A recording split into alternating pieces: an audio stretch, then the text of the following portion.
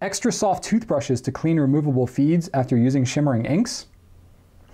Uh, well, yes, you can totally do that. Very legit practice. I think it's actually one of the best ways. I do find that a pen flush uh, can be pretty handy. Where's my pen flush? Do I have it handy anywhere here? Nope. Okay, well, anyway, Goulet pen flush, it's, uh, it definitely works. You can use uh, dish soap as an alternative if you don't want to have a full-on pen flush. Hey, there we go pen flush.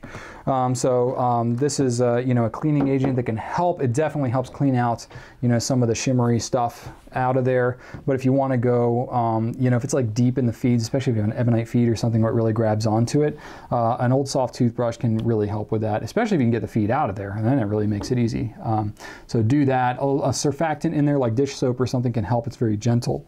You know, obviously rinsing it off really well after you're done, but very legit practice. You're not going to hurt anything or do any damage with a toothbrush, really.